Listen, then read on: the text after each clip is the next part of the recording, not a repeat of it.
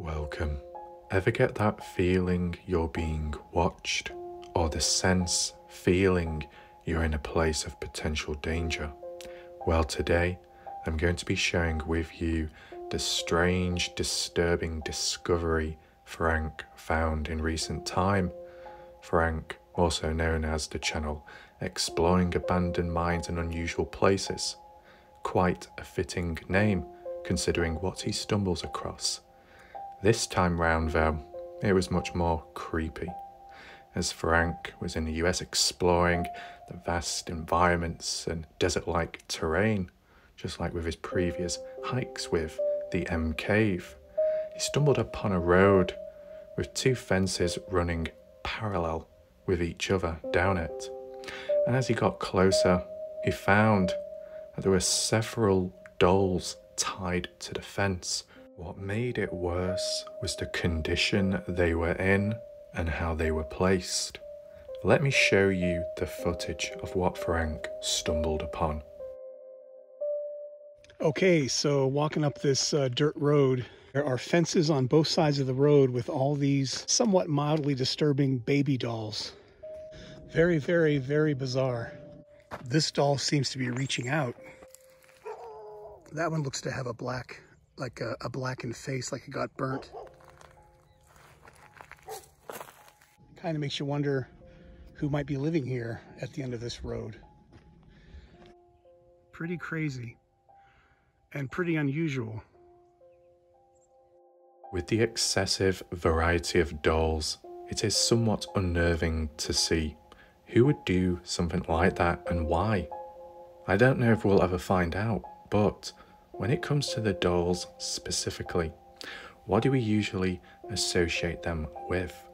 Childhood, innocence, children growing up, playing with dolls, being creative, learning, maybe even shown some form of care and development as they grow. Yet, we also associate dolls in a much darker way.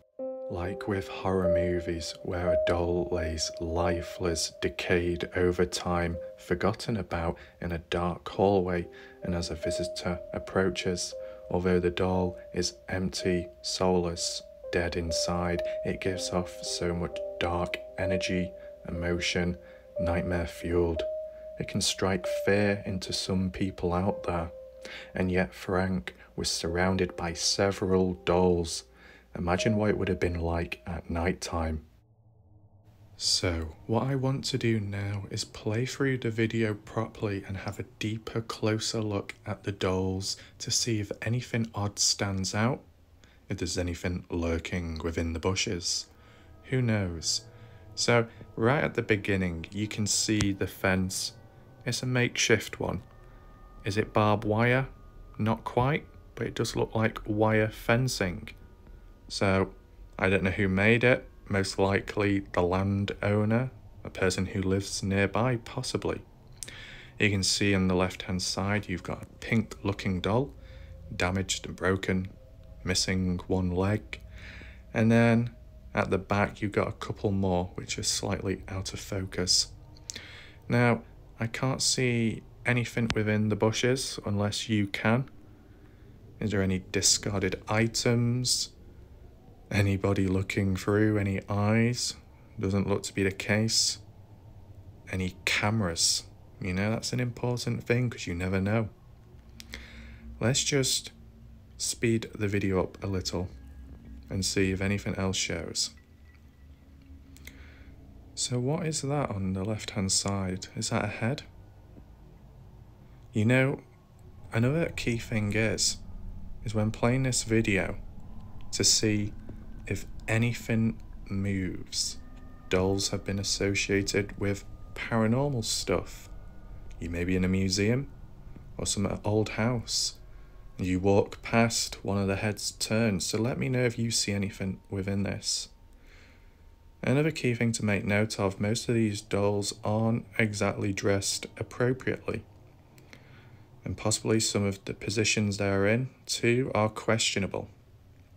But then again, depending what you have seen in other mysteries and other findings, there can be much more deeper reasons and darker ones too. Now, as we approach this one, it seems to appear there is a box wrapped around the person's legs. If we zoom in, traditional dress, but what is that black box? The cable is just above. It's got a little button on, a little indentation, as if if you was to press it, maybe it would activate something. Now within the video, Frank, I believe, does refer to it as uh, some kind of motion sensor or alert alarm, as there are sounds that trigger later on. Could well be the case. I mean, there seems to be a screen on the front or some kind of, you know, something. I don't know if it may be a solar panel or if it's the motion detector. Now, it is quite big in size, but you do get it at times where with dolls, they come with a battery pack of some sort, or in other cases, like a little string or cord, but when you pull it, it will activate a sound as if the doll is talking to you. Could that be the case here? Maybe. If not, most likely some motion detector. But why would they need to do something like that? In addition, what I want to point out, and it's not too much, if you look on this wire as it goes along, there are a few things that seem to hang off it.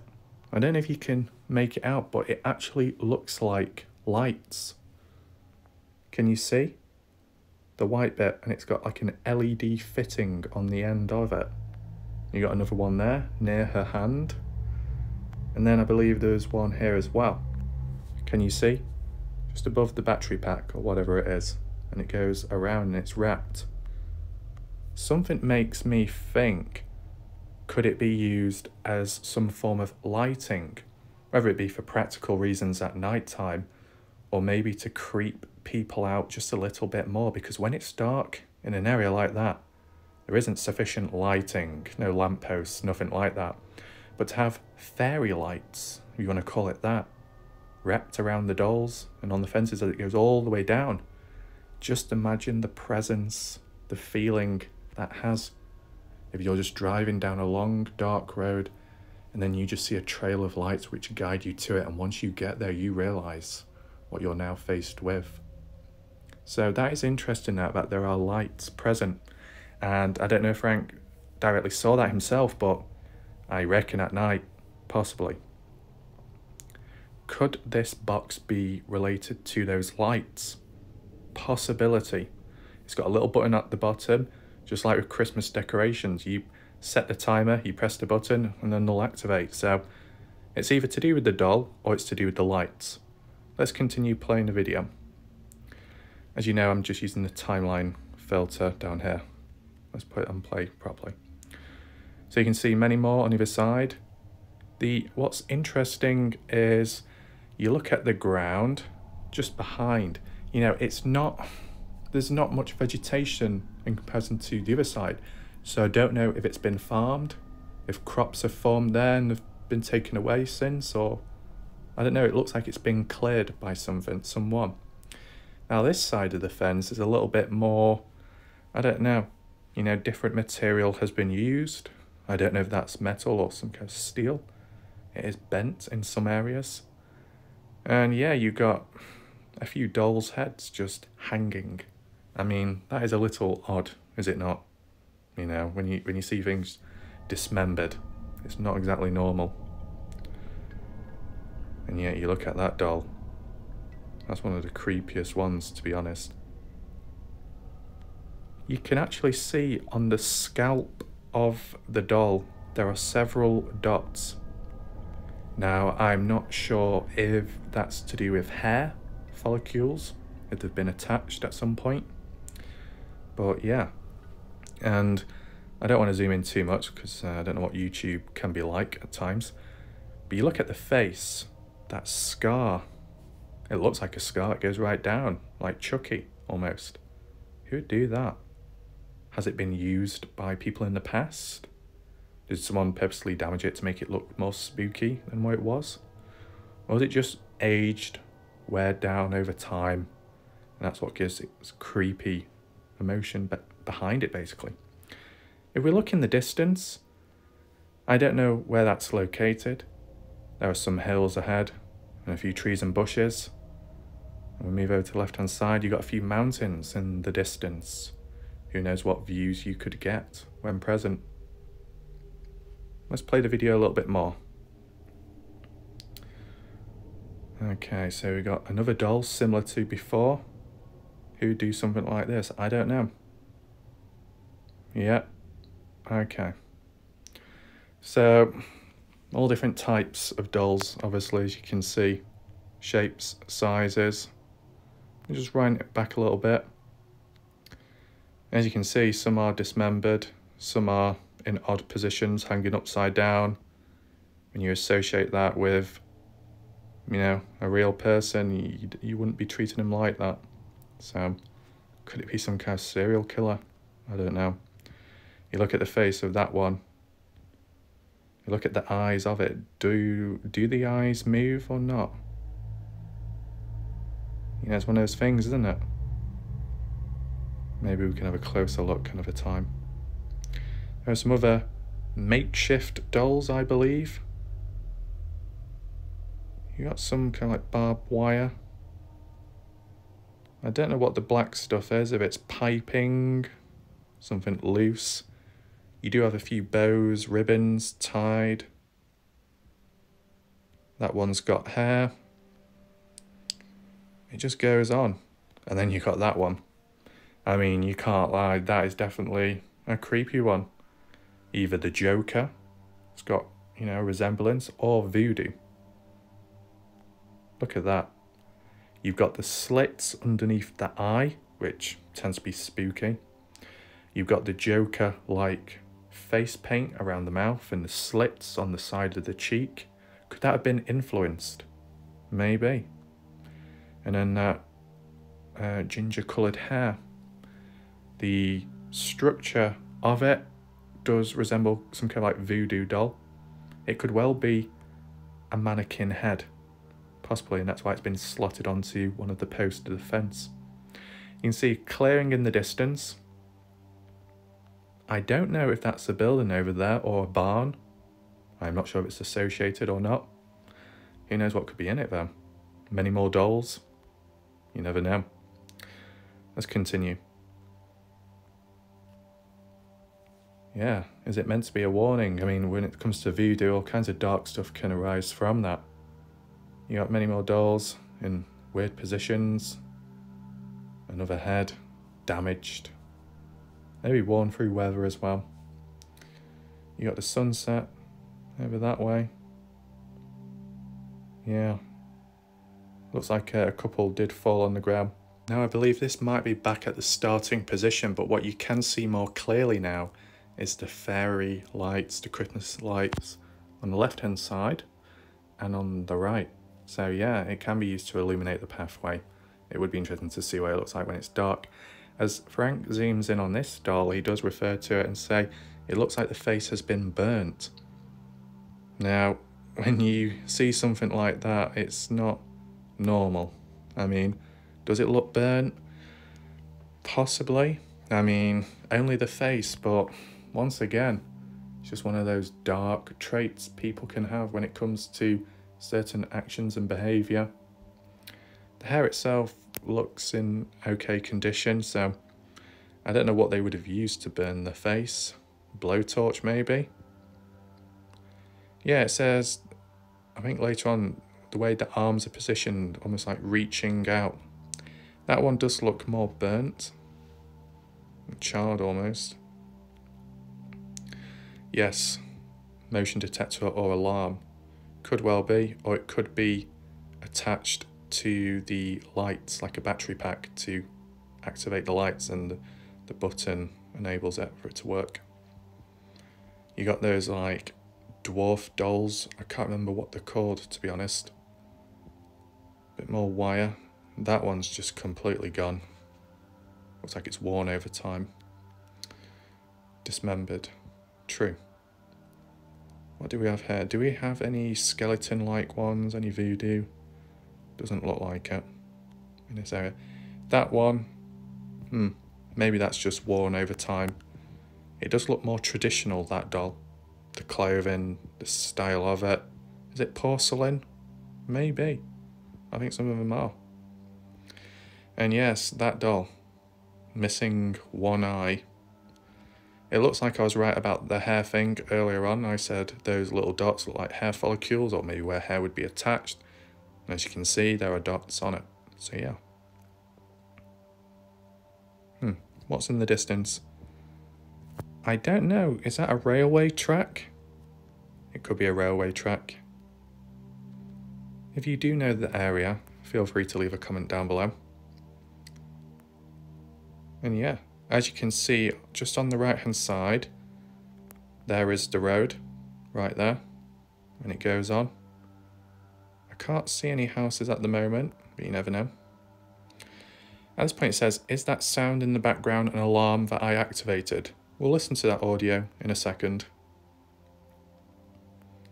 That one's definitely creepy. It's that, that rough texture. I don't know, it's probably through weathering maybe. Got a few more there. He says, I don't think I want to meet the owner. Yeah, don't blame him. Now, right at the end, one thing that's interesting, I don't know if he went all the way down to the bottom, but you can see on screen if we zoom in, that looks like a mailbox. I may be wrong, but it looks like one.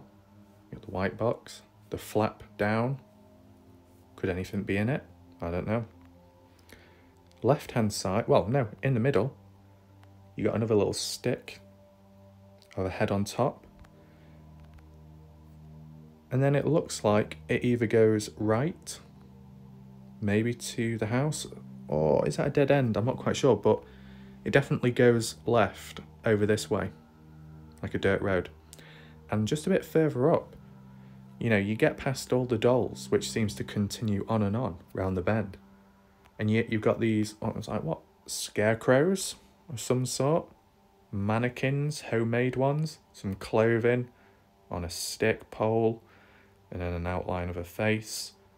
Are they decorative or could they be target practice, you know, for using guns on? I can't see any damage or like any holes, so maybe it's just decorative, just like all the other dolls. But definitely, definitely very weird. Peekaboo. So yeah, that was like an example what you saw in Frank's video.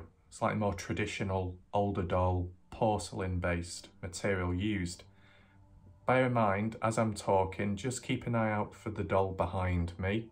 Let me know if it comes alive, if it decides to move, look up slightly, okay? Keep an eye out. Now, as I continue talking, there are a few more modern dolls within the video of Frank's, uh, you know, plastic based, which is to be expected. Can you possibly date back to when this was all constructed, when it all happened? Mm, I don't know. It's a makeshift fence, so someone's responsible for that at least. Dolls have been placed there, lights as well. Is it all for decorative reasons, aesthetics? Is that how you say the word? I don't know. To make it look visually appealing in a way or creepy looking because they have a dark interest in that sort of stuff? Or is it done as a warning, like Frank said? We're tying it on with the idea of a warning. Who is living there? and you know what are they like? Are they dangerous? Are they armed? Is it are they with other people? Is it like some family creepy family or one singular person? I don't know. I mean he didn't get too close. I don't blame him. It'd be interesting to see if we know the location. Imagine going on google earth possibly. Google maps looking that way you know might be able to see something you could even go back in time as well to see when things were actually put up. I mean, you know, it's not 3D, okay? But if there's a street view on the main road, possibly, definitely have to ask Frank about that. We might have a part two coming very soon, okay? Got to nail down on that.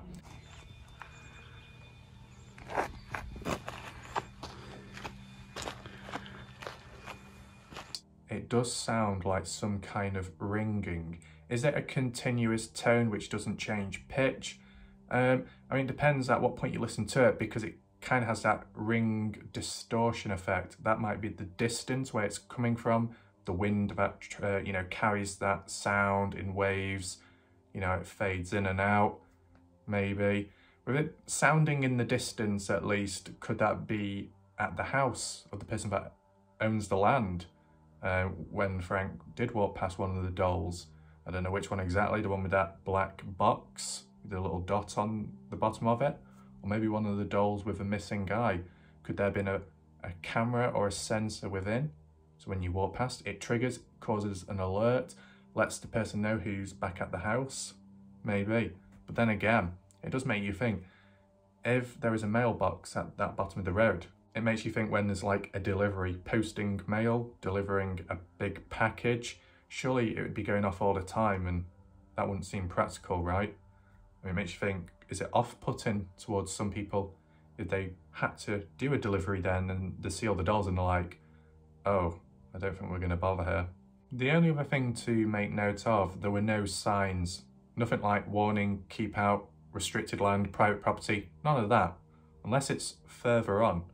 I'm kind of interested to see what was further on, you know, towards the bottom where those like stick figures were, round that bend, where does it lead to? Who knows? Join me next time as we take a look at a similar example of a different location to try and identify and understand the meaning behind the creepy dolls and the presence of them. Could there be a possible link? Could there be a deeper reason behind it? Well, find out soon when part two arrives.